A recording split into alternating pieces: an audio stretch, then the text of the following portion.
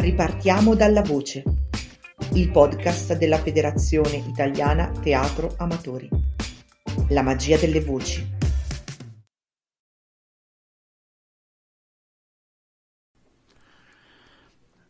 Vite parallele, un progetto di Cascina Macondo, racconti e testimonianze di chi ha varcato la soglia del carcere, con il contributo dell'UBI, in partenariato con il centro Okuzenku.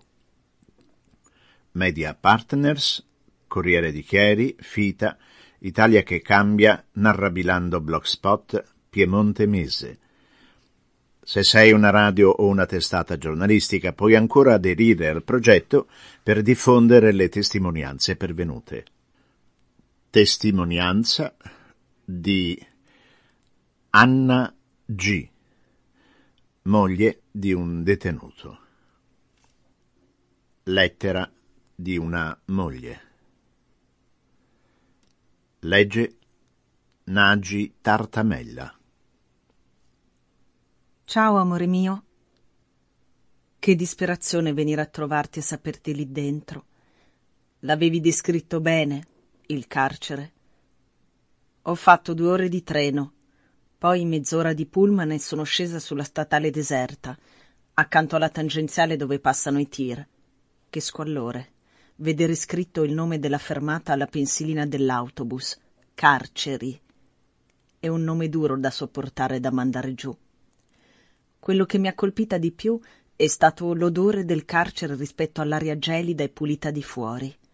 Un odore forte, di metallo e di umanità compressa anche se ieri era un giorno di visita in cui non c'era quasi nessuno. È stata dura essere perquisita e la poliziotta non era neanche poi così gentile. È una grande tristezza essere qui, le ho mormorato mentre mi metteva le mani addosso. Poi mi ha anche fatto aprire la bocca e ha indagato sopra e sotto la lingua.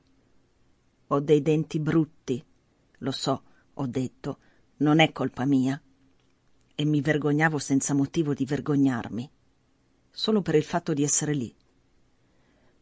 Poi mi hanno dato un foglio con un numero, che era il numero del tavolo al quale avremmo potuto parlare. Era un grande otto disegnato e ho pensato tra me e me il numero dell'infinito. Come infinito il mio desiderio di vederlo e la mia sete di lui.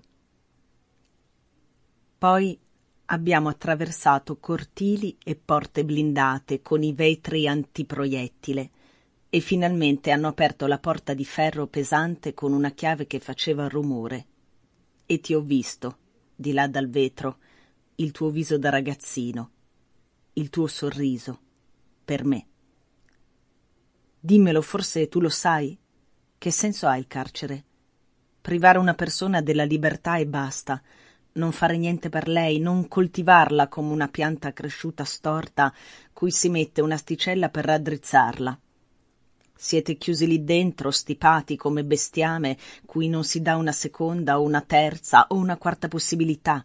Siete esseri umani, cazzo, esseri umani. Una delle cose che mi ha lasciata con il fiato sospeso è stata la somiglianza dei detenuti con i secondini. Man mano che si aprono le porte si attraversano i cortili, il filo che vi unisce e nello stesso tempo vi separa dai vostri carcerieri si assottiglia sempre più. Che tristezza. Anche loro erano uomini, ma ora forse non lo sono più. Durante il colloquio ti ho chiesto se nel carcere ci sono dei corsi di studio per i detenuti.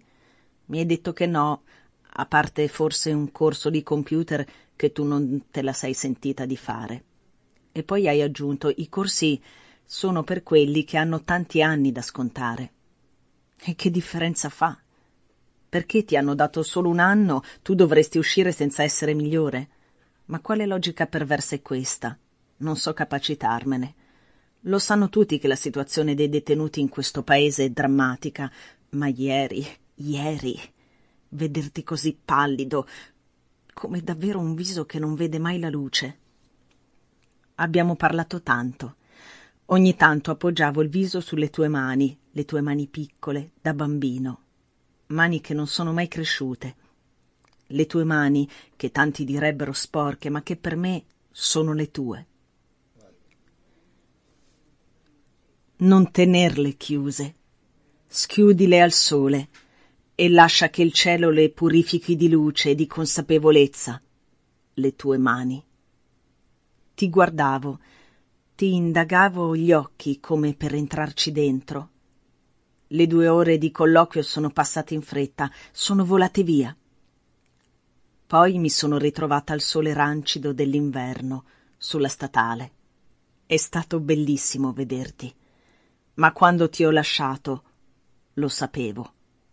Ti stavo lasciando sulla porta dell'inferno. E la pena più grande è non dividere il suo fuoco tremendo con te. A presto.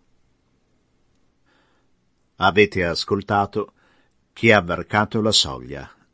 Testimonianza di Anna G. A letto Nagi Tartamella. Per informazioni info chiocciola cascinamacondo.com